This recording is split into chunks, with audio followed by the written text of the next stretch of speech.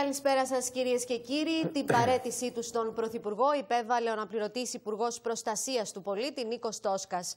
Όπως έγινε γνωστό από το Μέγαρο Μαξίμου, ο Αλέξης Τσίπρας είχε συνάντηση με τον κύριο Τόσκα, κατά την οποία και με δεδομένο ότι έχει παρέλθει η κατάσταση έκτακτης ανάγκης, όπως υπογραμμίζεται στην ανακοίνωση, έκανε δεκτή την παρέτηση που είχε καταθέσει στον Πρωθυπουργό την προηγούμενη εβδομάδα. Ο κύριος Τσίπρας έκανε δεκτή την παρέτηση του κυρίου Τόσκα μετά από 11 ημέρες από όταν ξέσπασε η φωνική πυρκαγιά στην Ανατολική Αττική και τον ευχαρίστησε για τη συνεργασία όλων των τελευταίων χρόνων. Οι αρμοδιότητες προστασίας του πολίτη περιέρχονται στον Υπουργό Εσωτερικών Πάνος Σκουρλέτη. Ο κύριος Τόσκας σε δήλωσή του ευχαριστεί όλους όσοι παρέμειναν μαζί του όπως λέει στα δύσκολα και ευχαριστεί και τον Πρωθυπουργό για την εμπιστοσύνη με την οποία τον περιέβαλε κατά τη διάρκεια των υπουργικών καθηκόντων του. Η φυσική καταστροφή και οι απώλειες τόσων συνανθρώπων μας στο μάτι ξεπερνάει τη βούλησή μου να συνεχίσω, κάτι το οποίο είχα δηλώσει και δημοσίως από την πρώτη στιγμή. Προσπάθησα σε όλη μου τη ζωή να προσφέρω στην υπεράσπιση και στην προστασία αυτού του τόπου και των πολιτών, δηλώνει ο κύριος Τόσκας. Με μια δεικτική ανακοίνωση, ωστόσο, το γραφείο τύπου της Νέας Δημοκρατίας σχολιάζει την όψιμη, όπως σημειώνει, αποδοχή της παρέτησης του κυρίου Τόσκα από τον Πρωθυπουργό. Η Πυραιός επισημαίνει ότι οι ευθύνες έχουν ονοματεπώνυμο Αλέξης Τσίπρας. Ο ίδιος και η κυβέρνησή του δεν έχουν το θάρρος να τις αναλάβουν. 11 ημέρες μετά την τραγωδία. Η παρέτηση του κυρίου Τόσκα είναι πολύ λίγη και έρχεται πολύ αργά για να ικανοποιήσει το κοινό αίσθημα, σημειώνει η Νέα Δημοκρατία. Και σε αυτό το σημείο καλωσορίζουμε τον Παναγιώτη Μπουσμπουρέλη, τον καλό συνάδελφο εδώ στο Blue Sky και να του ζητήσω ένα πρώτο σχόλιο για αυτή την παρέτηση η οποία ναι μεν ήρθε αργά, από την άλλη όμως πολλοί εκτιμούν ότι γίνεται και για επικοινωνιακούς λόγους. Ναι. Λοιπόν, ε, εγώ ένα μου να πω καταρχάς ότι στην εκπομπή του Γιάννη Λοβέρδου χθες το βράδυ είχα κάνει μία αναφορά ότι όλο το θέμα της ε, προστασίας του πολίτη και της επιχείρησης αναβάθμισης που θα γίνει θα περιέλθει στον Υπουργό Εσωτερικών, στον ε, κύριο Πάνος Σκουρλέτη. Τώρα, Εν ώψη και ανασχηματισμού, έτσι, γιατί ε, υποτίθεται, αν, αν ακολουθήσουμε, αν πιστέψουμε τα σενάρια, ο ανασχηματισμός μετατίθεται για μετά την σε εισαγωγικά τώρα φιέστα, πόσο φιέστα μπορεί να είναι αυτή για την έξοδο της χώρας από τα μνημόνια στις 21 Αυγούστου με βαριά τη σκιά της ε, φωνικής πυρκαγιάς στο μάτι, δεν το ξέρω. Αλλά πάντως οι πληροφορίες μεταθέτουν τον επικείμενο ανασχηματισμό εκείνες τις ημέρες και μάλιστα λένε ότι θα υπάρξει μία αναβάθμιση όσον αφορά στο, στο, στο έργο της, της ε, πολιτικής προστασίας. Δηλαδή θα γίνει κάτι σαν υφυπουργείο. Αυτό, από ακούγεται, αυτό ακούγεται και είναι δεδομένο ότι πρέπει να γίνει, διότι οι εξελίξεις στην κλιματική αλλαγή είναι τέτοιες που δεν ξέρουμε ποια άλλη θεομηνία μπορεί να μας τύχει και να πούμε ακόμα ότι αν αρχίσουν νεροποντές και τέτοιου είδους ε, φυσικές, ε, φυσικά φαινόμενα στην περιοχή που βρίσκεται στο μάτι, τότε το μόνο σίγουρο είναι ότι αυτή τη στιγμή είναι ανοχήρωτη η περιοχή αυτή για να αντιμετωπίσει τέτοιες καταστάσεις όσο θα μπαίνουμε στο φθινόπωρο και ενδεχομένως θα προχωράμε προς το χειμώνα. Άρα αυτή τη στιγμή η εμπειρία η οποία υπάρχει από την ε, μεγάλη τραγωδία που συνέβη είναι ότι πρέπει να αναβαθμιστεί ε, άμεσα ο θεσμός της πολιτικής προστασίας. Τώρα, εάν θα γίνει ένα ειδικό Υπουργείο ποιοι θα αναλάβουν. Διότι εδώ φαντάζομαι και ακούω ότι ο ίδιος ο Πρωθυπουργός έχει καταλάβει ότι με κομματικά στελέχη δεν μπορείς να ανταποκριθείς σε τέτοιες μεγάλες κρίσεις. Και... Ήταν και βαρύ το κλίμα για τον επικεφαλή στην πρόσφατη συνεδρίαση του Υπουργικού Συμβουλίου, σύμφωνα με τα όσα διέρευσαν. Ε, ναι. Ε, λοιπόν, ε, αυτό λοιπόν είναι αντιληπτό, ότι εδώ χρειάζονται τεχνοκράτες, Χρειάζονται άνθρωποι οι οποίοι να έχουν εμπειρία. Πρέπει να αξιοποιηθεί η τεχνολογία. Τι να πούμε τώρα, ότι στην Καλιφόρνια ο προπολογισμό είναι 2 δις δολάρια για να αντιμετωπίζουν αυτές τι καταστάσεις και ότι υπάρχουν μόνιμες στρατιές εθελοντών.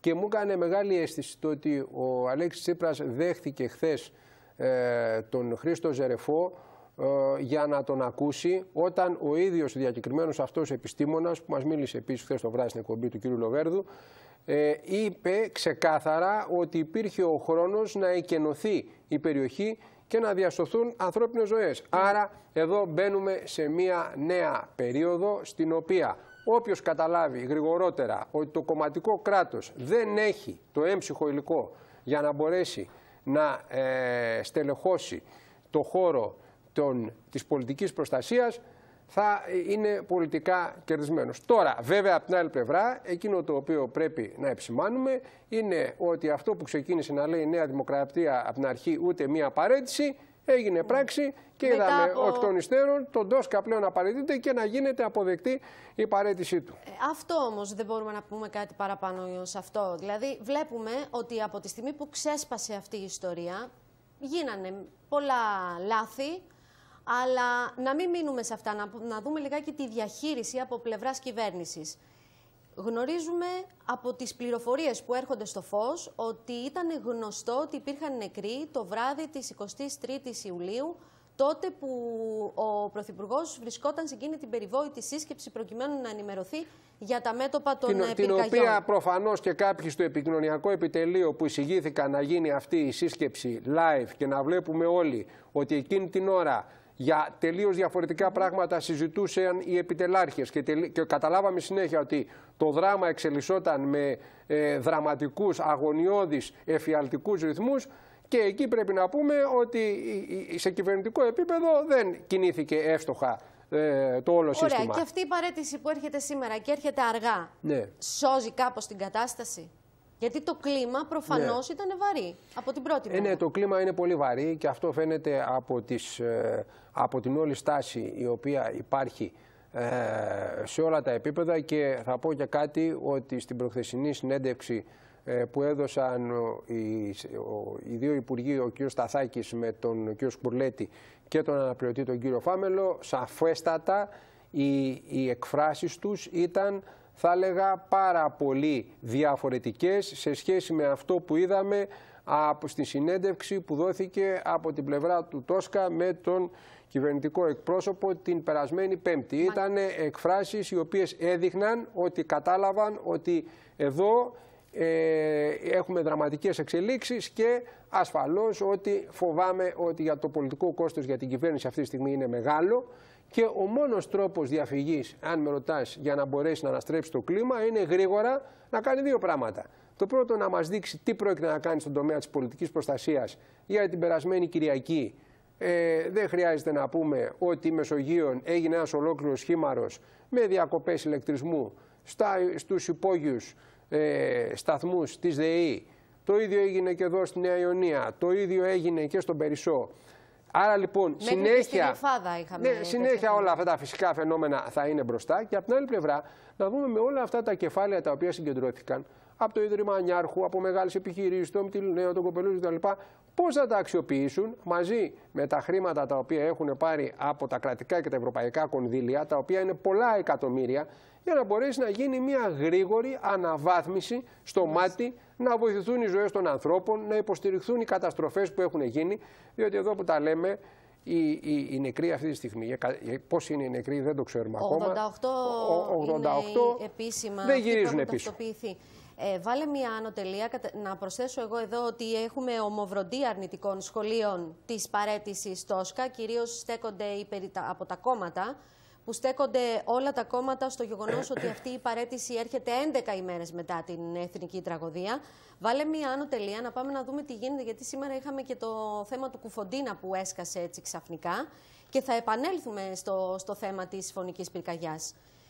Ξαφνική μεταγωγή, λοιπόν, κυρίες και κύριοι, σήμερα το πρωί του καταδικασμένου τρομοκράτη της 17 Νοέμβρη Δημήτρη Κουφοντίνα στις αγροτικές φυλακές Βόλου με απόφαση της Κεντρικής Επιτροπής Μεταγωγών που ανήκει στο Υπουργείο Δικαιοσύνης. Το γεγονός προκάλεσε τη σφοδρή αντίδραση του Προέδρου της Νέας Δημοκρατίας που απίφθινε ερώτηση προσωπικά προς τον Πρωθυπουργό μέσω διαδικτύου. Σύμφωνα με εκτιμήσεις νομικών, είναι πολύ πιθανό μέσα στα επόμενα δύο έως τρία χρόνια ο Δημήτρης Κουφοντίνας, ο δολοφόνος της 17 Νοέμβρη, να μπορεί να αποφυλακιστεί.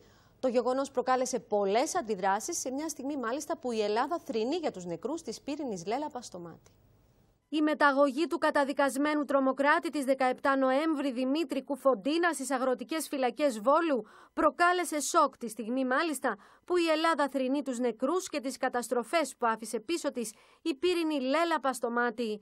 Οι αγροτικές φυλακές αποτελούν ανοιχτά και όχι κλειστά καταστήματα κράτησης, γεγονός που σημαίνει ότι όλοι οι κρατούμενοι είναι εργαζόμενοι και συμμετέχουν σε ομάδες που κάνουν αγροτικές εργασίες, όπως η συγκομιδή πορτοκαλιών, ελιών, ενώ φροντίζουν ακόμα και χειροστάσια.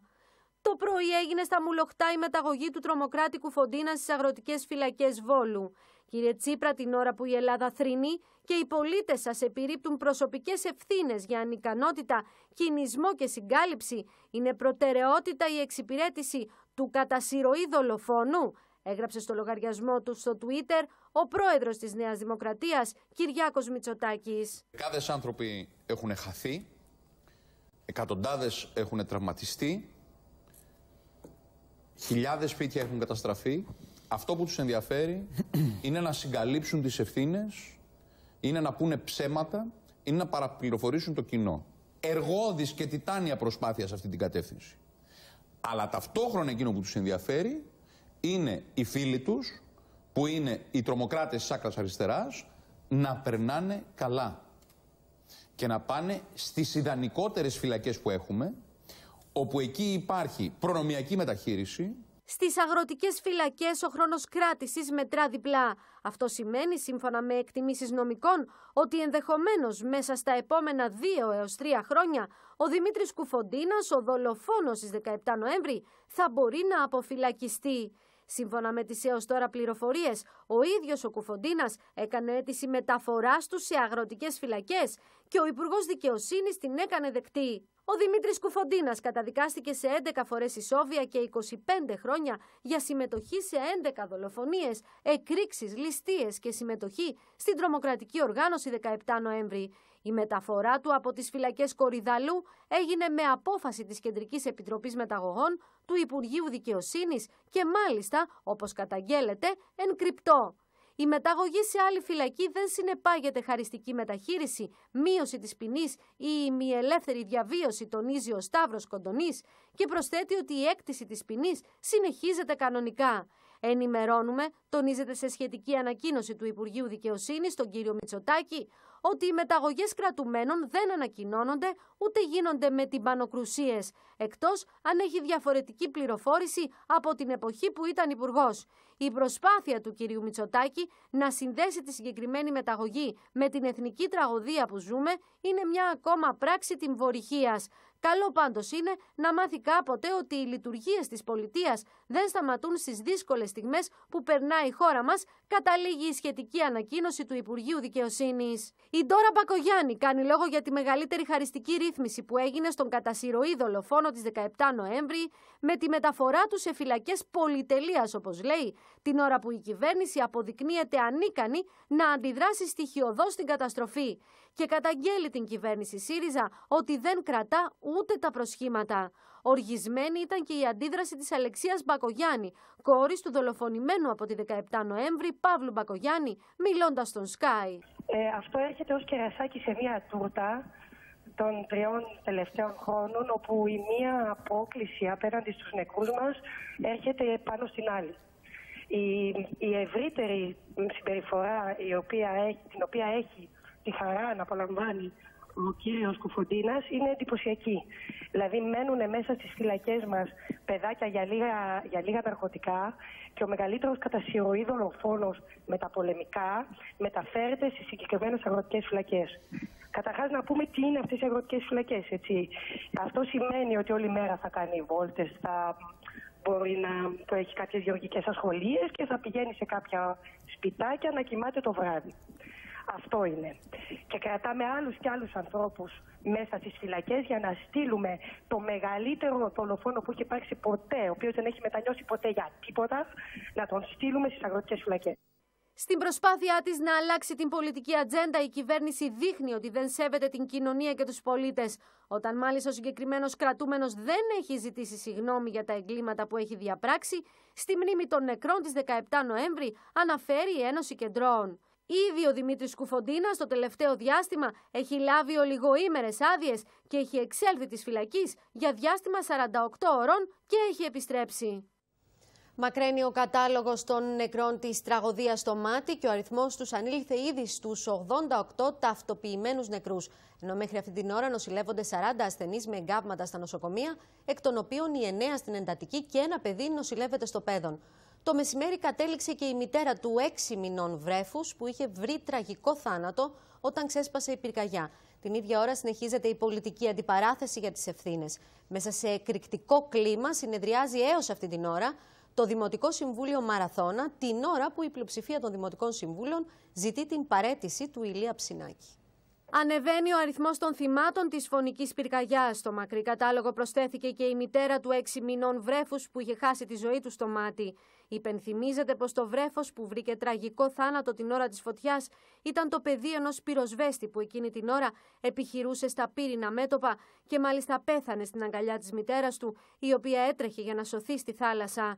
Οι μαρτυρίες από τον εφιάλτη ακόμα συγκλονίζουν. Εκεί που κατεβήκαμε Μόλις κατεβήκαμε είχε αρπάξει από πίσω μας, η φωτιά μας ακολουθούσε. Ο ιατροδικαστής Ηλίας Μπογιώκας περιέγραψε τα όσα συγκλονιστικά βίωσε ο ίδιος και οι συνάδελφοί του καθώς διαχειριζόταν τα θύματα της φωτιάς στην Ανατολική Αττική. Όπως είπε μιλώντας στο ραδιόφωνο θέμα FM, το 90% με 95% των θυμάτων ήταν καμένοι και αποτεφρωμένοι. Η κατάσταση των σωρών ήταν τέτοια που σημαίνει, όπως είπε, ότι μέσα σε ελάχιστο χρονικό διάστημα και κατά τόπους πρέπει να αυξήθηκε φοβερά η θερμοκρασία. Στα τόπους πρέπει να αυξήθηκε ε, φοβερά η θερμοκρασία. Δηλαδή εκεί που ήταν τα τυχή 26 τα μαζεμένα άτομα. Σε αυτό το σημείο για κάποιους λόγους ήταν ήταν γύρω-γύρω, ήταν εκτός ναι, ναι. χώρος, δεν ξέρω γιατί, πρέπει να ανεπτύχει φοβερές θερμοκρασίες, γιατί εκεί βρήκαμε και οφστά μέχρι αποτέλεσμα. Δηλαδή το μισό οστό ήταν καμένο και το άλλο μισό ήταν αποτελεσμένο. Αυτό αύξησε τη θερμοκρασία πάνω από 200 βαθμού. Και όπως είδα και εγώ δηλαδή και κατάλαβα, έγινε μέσα σε ελάχιστα λεπτά. Αυτά τα ελάχιστα λεπτά για να έρθουν τέτοιε θερμοκρασίε πρέπει να πήγαν στο βιλισμό του αέρα που εγκλώβησαν τους ανθρώπους και τους εξαήλωσαν.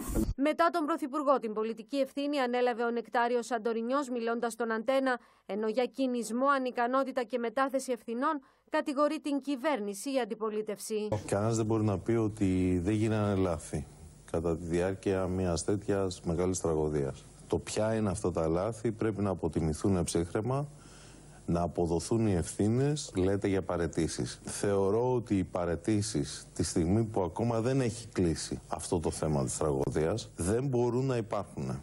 Διότι όταν βρίσκεσαι σε μία μάχη, πρέπει να ολοκληρώσεις τη μάχη. Η κυβέρνηση αυτή έχει οδηγήσει την Ελλάδα, την έχει κάνει μια μεσίστια χώρα. Ο άπρακτος κύριος Τόσκας του Πράτο δεν μπορεί να το πει καλύτερα αυτό.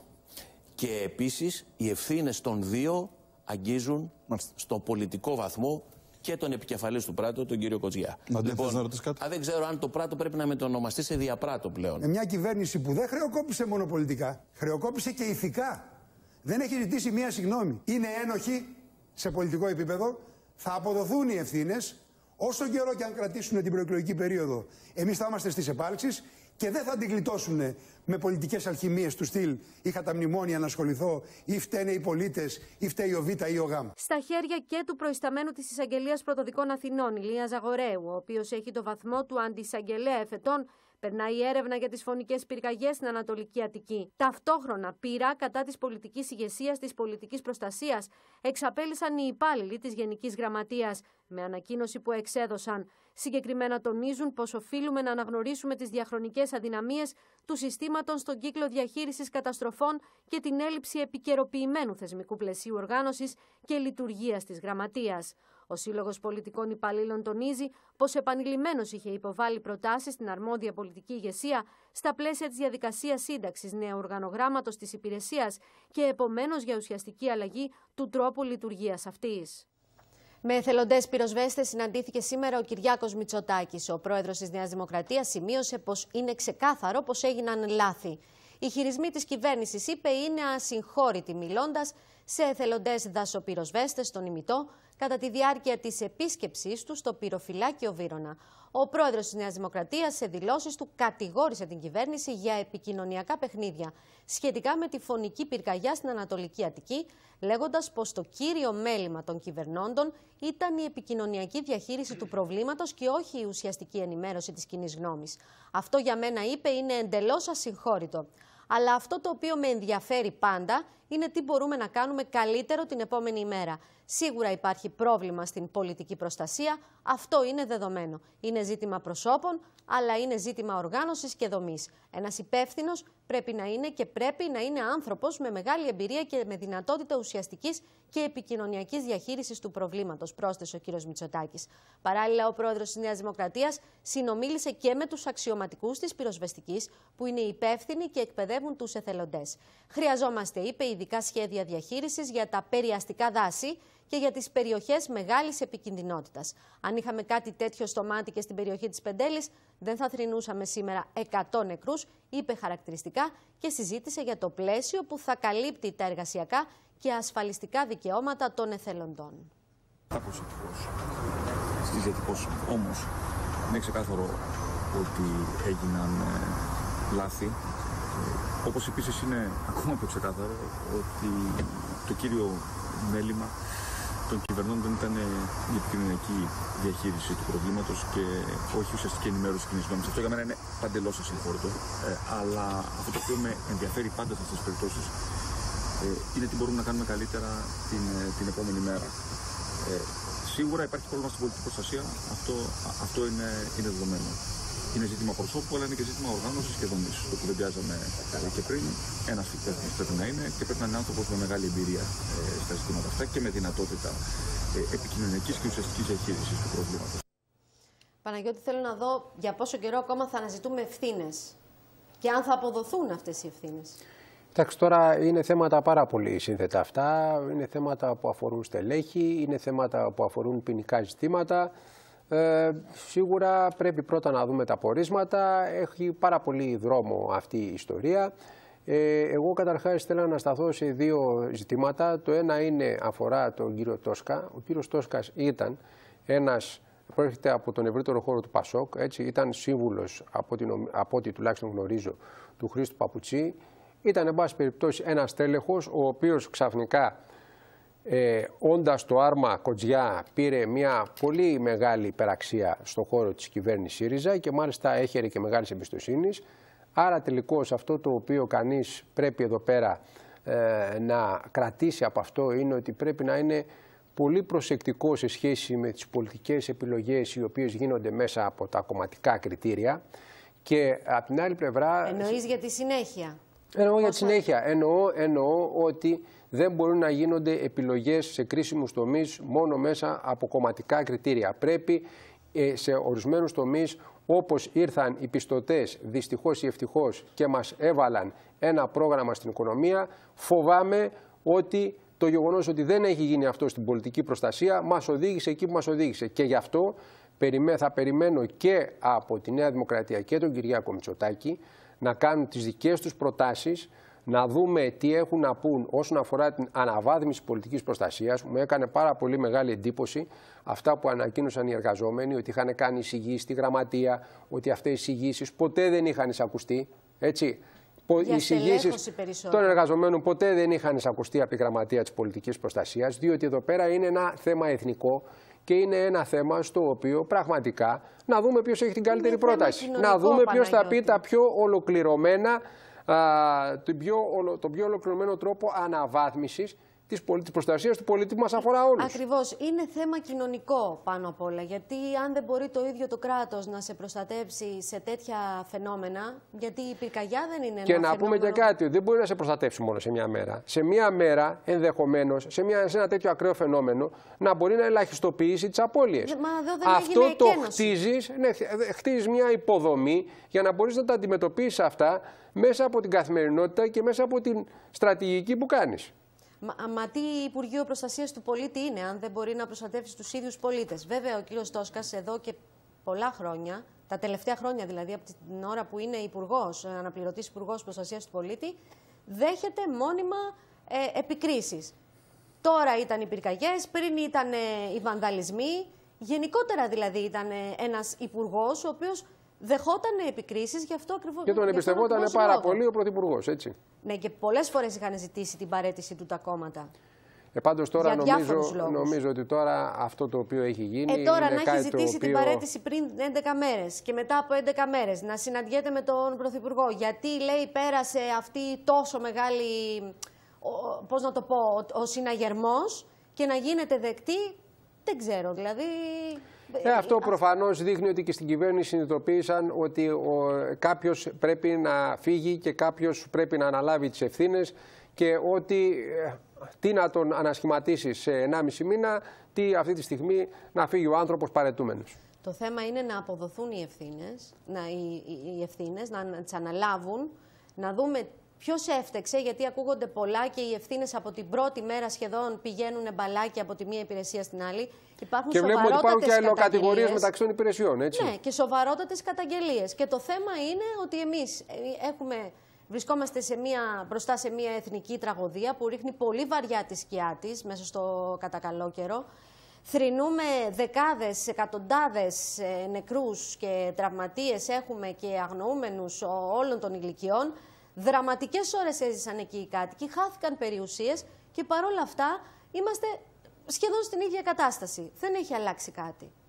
Δεν έχει αλλάξει. Δηλαδή πρέπει κάτι να γίνει. Δεν πρέπει κάτι να γίνει. Εντάξει η παρέτηση Τόσκα αλλά δεν πρέπει κάποια στιγμή να αποδοθούν ευθύνες. Και έχουμε τώρα και την κυβέρνηση που θέλει να κατεδαφίσει και τα αυθαίρετα. Καταρχάς, να πούμε πάνω σε αυτό που λες, Νένα, νομίζω ότι πρώτα θα πρέπει να ολοκληρωθούν κάποια απορίσματα. Έτσι, ε, και το θέμα αυτό έχει πάρα πολλές νομικές πλευρές. Δηλαδή, ποια υπηρεσιακά στελέχη είναι εκείνα τα οποία φέρουν ευθύνη κακής διαχείρισης της υπόθεσης; Ποια είναι εκείνα τα στελέχη τα οποία υποεκτίμησαν την κατάσταση; Ποια είναι εκείνα τα, τα στελέχη, να μην που ολιγόρησαν; Κάποιος πρέπει να την αναλάβει όμως. Πολιτική ευθύνη που σημαίνει παρετούμε. Δηλαδή, τώρα μέχρι να φτάσουμε να κάνουμε ΕΔΕ για να δούμε ποιος έφτεξε, ποιος, αν πήρε τηλέφωνο, αν ζητήθηκε η εκένωση. Ή δεν ναι, αλλά βλέπεις ότι σε πολιτικό επίπεδο είχαμε δηλώσει το πρωί του κυρίου Σαντορινιού, ο οποίος έλεγε ότι δεν υπάρχει λόγος για παρέτηση, και αμέσως λίγες ώρες πιο μετά είδαμε ότι ο Τόσκας παρετήθηκε. Λοιπόν, να προχωρήσουμε, Παναγιώτη, και να δούμε τι γίνεται με, τα, με το θέμα των κατεδαφίσεων. Καθώς μέσα στην επόμενη εβδομάδα θα ξεκινήσουν οι διαδικασίες για τις πρώτες 61 κατεδαφίσεις αυθαιρέτων κτισμάτων και μαντρών εντός της Αττικής, σύμφωνα με το Υπουργείο Περιβάλλοντος.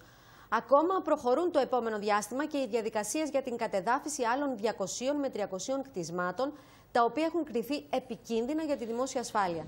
Για το συγκεκριμένο θέμα πραγματοποιήθηκε σύσκεψη του Πρωθυπουργού με τον αρμόδιο Υπουργό Γιώργο Σταθάκη.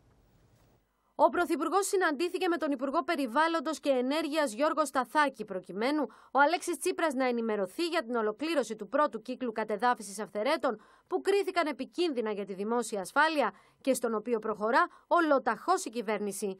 Όπως αναφέρεται στο δελτίο τύπου που εκδόθηκε μετά τη συνάντηση, εγκρίθηκαν ήδη 61 κατεδαφίσεις. Είναι συγκεκριμένος στελέχο Νέα Δημοκρατία που έχει διατελέσει νομάρχη στην περιοχή, που έχει διατελέσει βουλευτή στην περιοχή, που ήταν αντιπρόεδρος της Βουλής της Νέας Δημοκρατίας και που προφανώς η ιδιοκτήτρια μπορεί και να ήταν.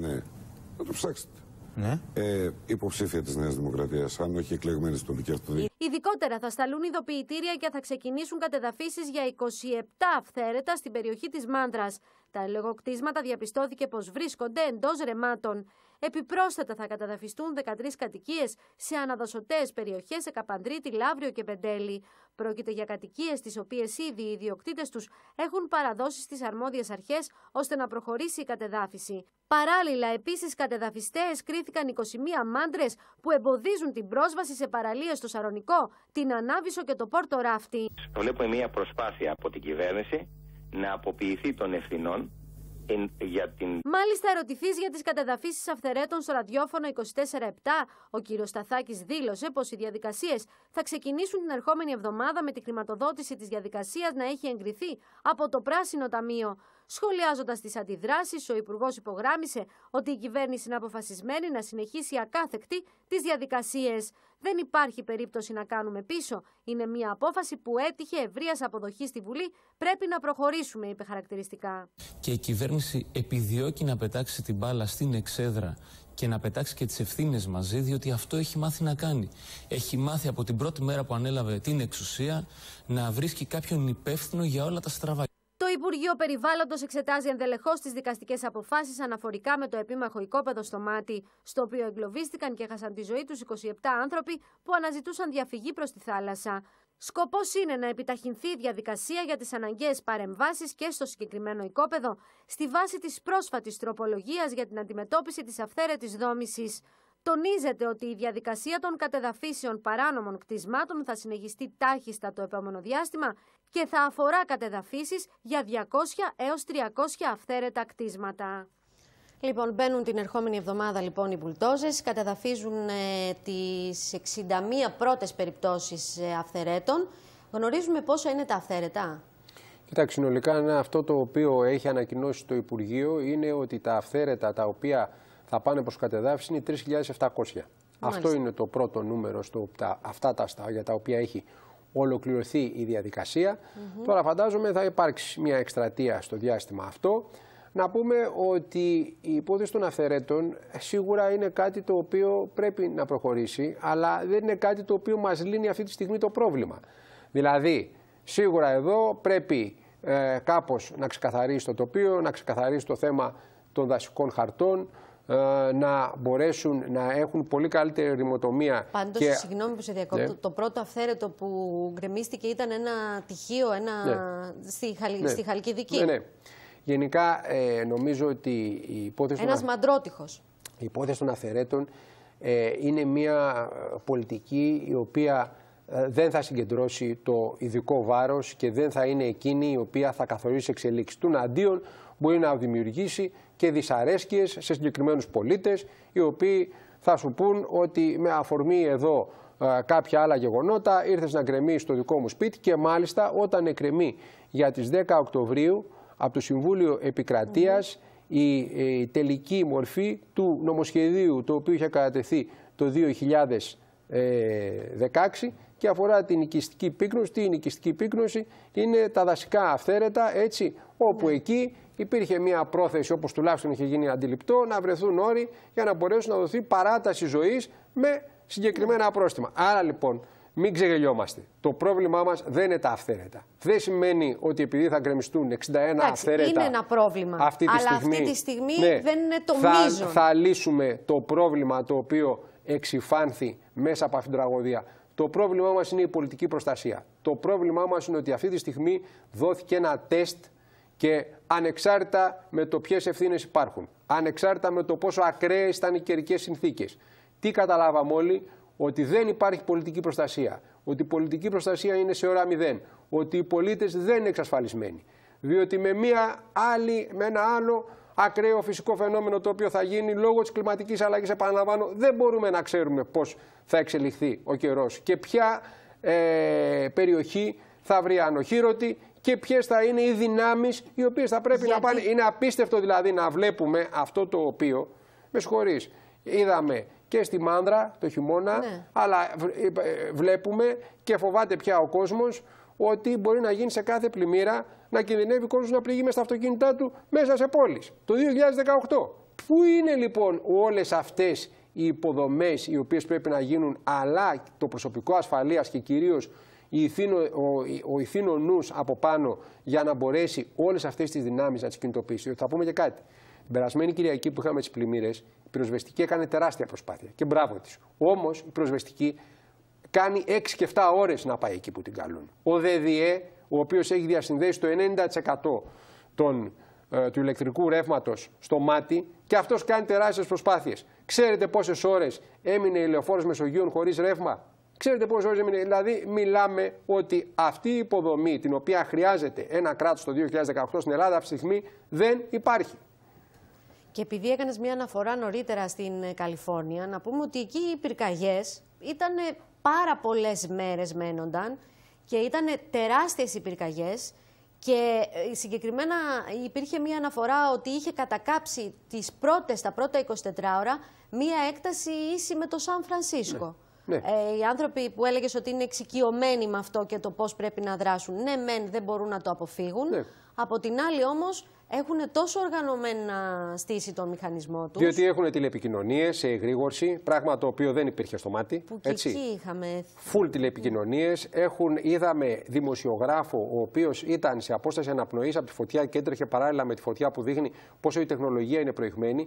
Και βεβαίως μετά από τόσες φωτιές χάθηκαν και τρει-τέσσερι άνθρωποι. Που είναι δραματικό, αλλά δεν είναι αυτό το οποίο έγινε την, ε, στην 23η Ιουλίου στην, ε, στη χώρα μας.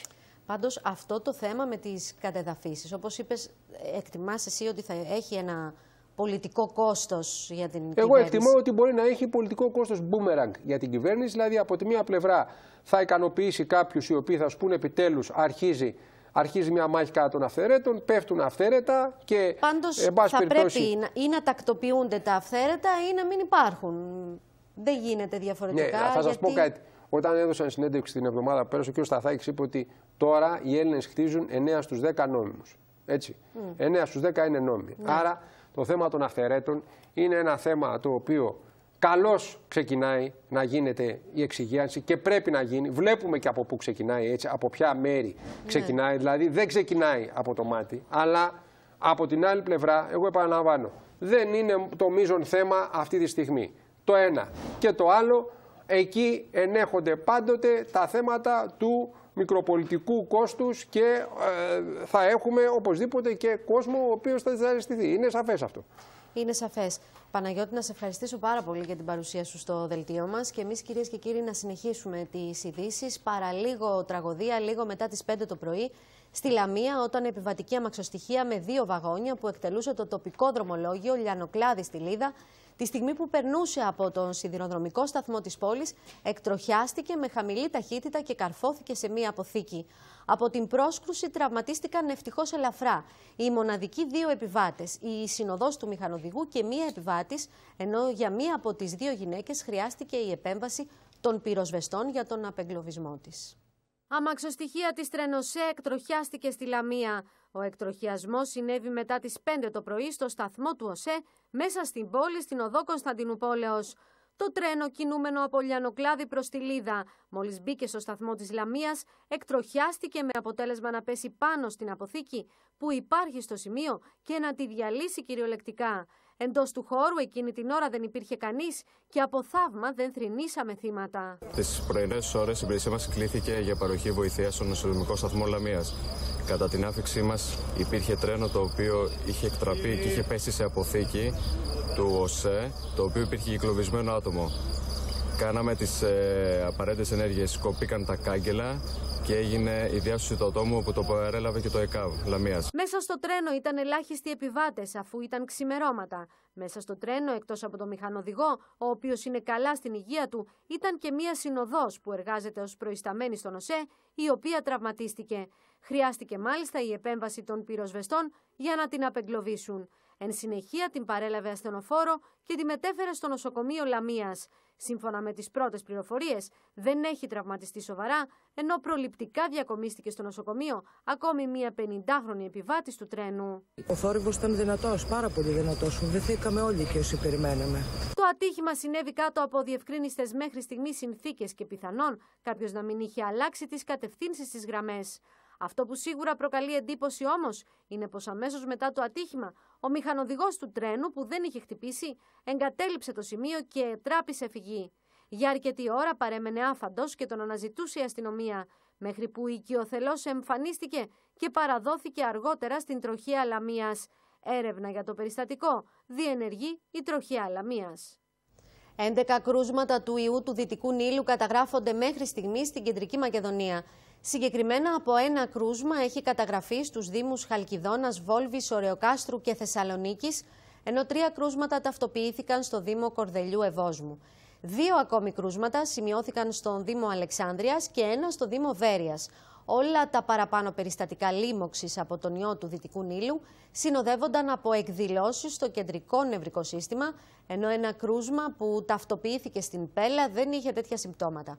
Σύμφωνα με το ΚΕΛΠΝΟ, αναμένεται η διάγνωση περαιτέρω κρουσμάτων το ερχόμενο διάστημα, λόγω και της ευαισθητοποίησης των επαγγελματιών υγείας, ενώ θεωρείται πιθανή η εμφάνιση κρουσμάτων της λίμωξης από τον ιό του Δυτικού Νείλου και σε άλλες γεωγραφικές περιοχές. Και εδώ κυρίες και κύριοι το δελτίο μας ολοκληρώθηκε. Ακολουθεί η πρόγνωση του καιρού. Καλό σας βράδυ.